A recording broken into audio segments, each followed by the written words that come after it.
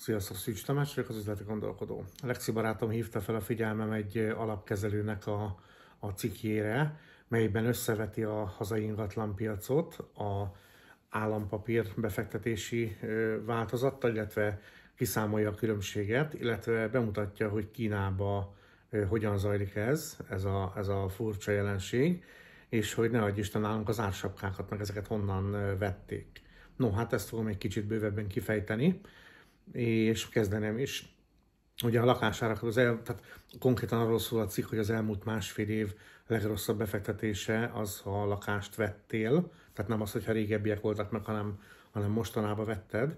hiszen inflációval egy 50 milliós ingatlant nézve, ha, ha az inflációt veszed figyelembe, akkor olyan mostani értéke a lakásnak ez ára az 47 millió forint körülbelül, tehát gyakorlatilag megavultatva az inflációval, nem is tudom, hogy hogy nevezzem, hogy, hogy pontosan érthető legyen. Ellenben, ha ugyanezt az 50 millió forintot a, a PAMP állampapírba tetted be, akkor, akkor konkrétan 61 millió forint fölött rendelkeznél, ami ugye gyakorlatilag vagy egy nagyobb lakás, illetve figyelembe véve azt, hogy azért valamennyire korrigálnak az ingatlanárak, pontosabban csökkenten, csökkennek, csökkentgetnek, főleg a, a motivált eladók, ami, ami azért elég pici szegmens a piacon, azt be kell látni, tehát nincsen vérfürdő, de azért meg lehet találni azt az egy-egy ingatlant, ami, ami adott esetben jó áron, viszont nagyon gyorsnak kell lenni, nincs idő teketóriázni, azt azonnal meg kell venni, hiszen nagyon sokan vannak a piacon avval a vágyja, hogy, hogy ők most azonnal lecsapnak a, a ingyen adott, vagy, a, vagy még annál is olcsóban adott ingatlanokra.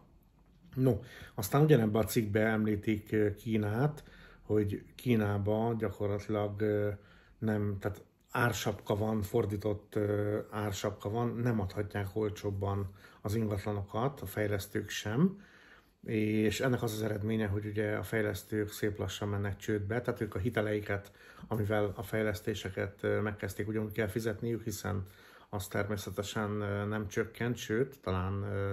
még ugye növekszik is, és, és ugye nincs benne az a tartalék, aminek lennie kéne, viszont az ingatlan áraknak folyamatosan növekednie kell Kínába. Tehát ez államilag kötelező, ez az, amit még kevesen szoktak tudni, hiszen a kínai lakosság megszokta az elmúlt tíz évben, hogy folyamatosan csak nő az ingatlan ára, tehát ez egy olyan ö, ipar, ami, ami csak nőhet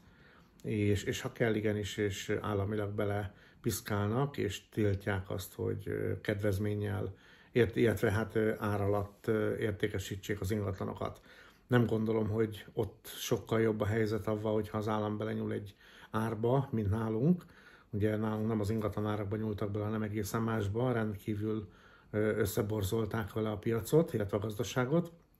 No, hát ők ezt megcsinálják ingatlannal. Mi ebből a tanulság? Az emberek mai napig elhiszik azt, hogy, hogy az ingatlan az, ami, ami a legjobban tartja az értékét, illetve az árát, bocsánat, rosszul mondtam, az árát, ez nem igaz. Tehát azért ezt lássuk be, tehát a jelenlegi tranzakciós számok, szintén a cikkből hivatkozva, a 2014 előtti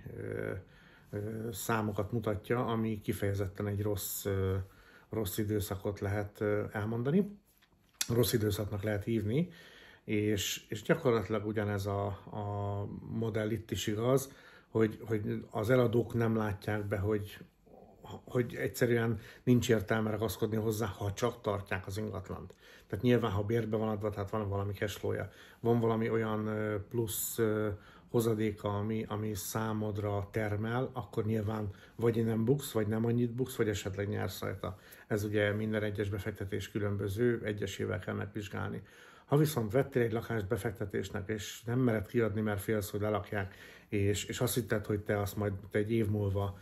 vagy két év múlva sokkal többért adhatod el, és akkor mekkorát nyertél, az mind folyamatosan bukja a pénzét. Először is, mert az ingatlanak nem, nem mondanám, hogy felfele mennek. Vannak kiugrók is, pillanatok, mikor bejelentenek valamit, általában egy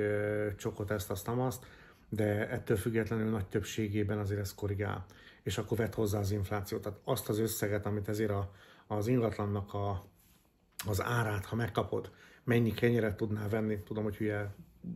összehasonlítás, de biztos vagyok benne, hogy kevesebb darab kenyeret tudnál venni most abból az ingatlanból, mint amikor elköltötted a pénzedet, illetve és vagy, amit te számítottál. No, hát ennyi lenne ez a mai kis videó, remélem érthető, hogy először is ugye az ingatlan, a második meg az, hogy lehet hülyén meg jól befektetni. Itt, itt, itt azt próbálom megmutatni, hogy hogyan ne csináld, tehát csak azért ne vegyél ingatlant, hogy, hogy majd az ára fel fog menni, Spe, tehát ne spekulálj, amúgy is egy hülyeség spekulálni szerintem így, sokkal inkább egy stratégia mentén kell haladni, és kívánom neked, hogy jó legyen a stratégiád és, és hogy jövedelmező is legyen természetesen, hiszen azért csinálod. Köszönöm, ha velem voltál, tetszett, lájkolj, ha valami észrevétel van, szívesen látom. Sziasztok!